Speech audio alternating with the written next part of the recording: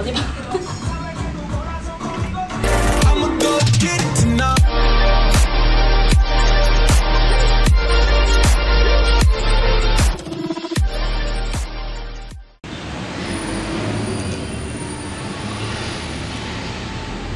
Diyan pala.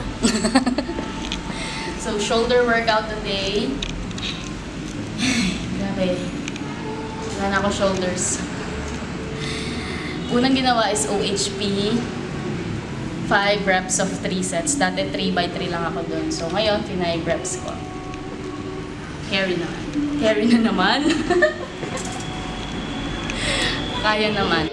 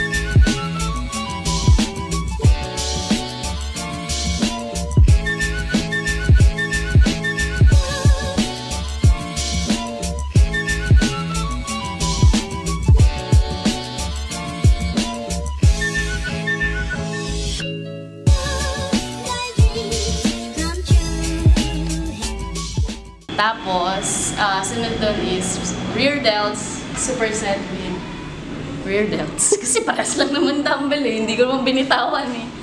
Yung rear delts na pa side, tapos rear delts na ganun sa likod. Tapos, ah 10, ba, ah, 10 reps yun, parehas. 10 reps of 3 sets.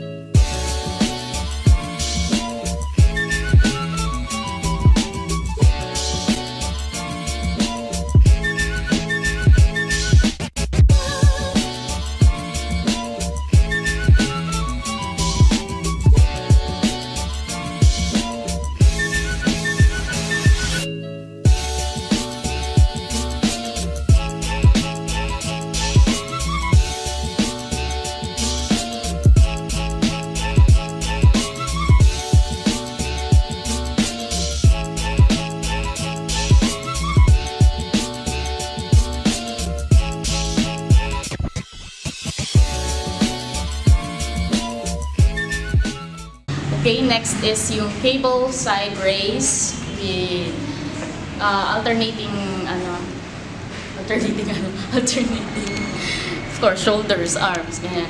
And uh, 8 reps with 2 seconds hold in each reps. At walang hinto yun kasi 3 sets yun eh. Tuloy-tuloy yun. So, compute nyo na lang kung ilan lahat yun sa isang tayuan.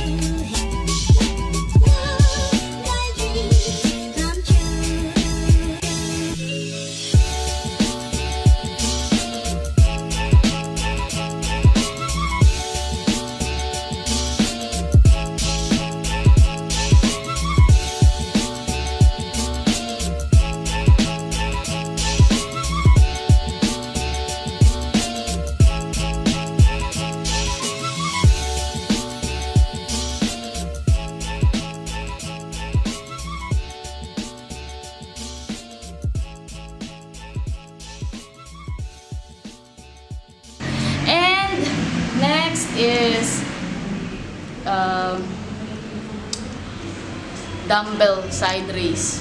100 reps. Do! Grabe.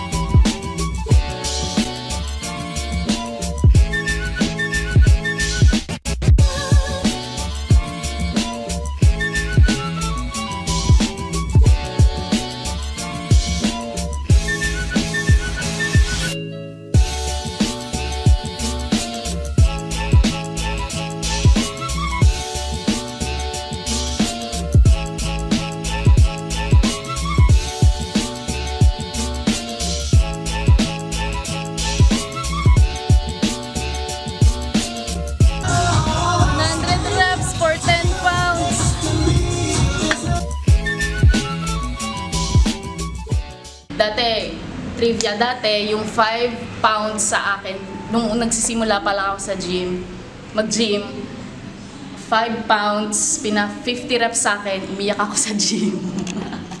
umiyak ako kasi hindi sa hindi ko kaya, umiyak ako kasi naiinis ako sa sarili ko, bakit hindi ko makaya? Gusto ko kaya ko eh.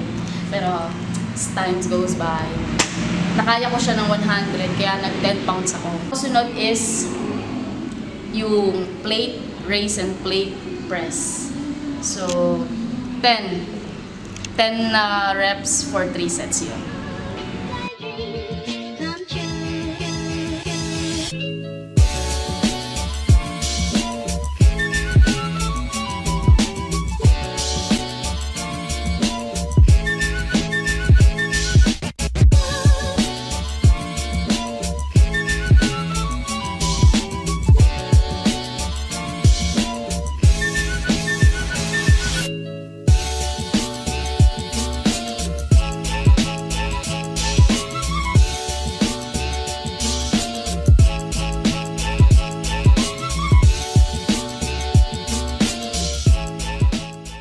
So, lahat tinarget lang natin is yung shoulder. Siyempre, yung front, side, and rear delts.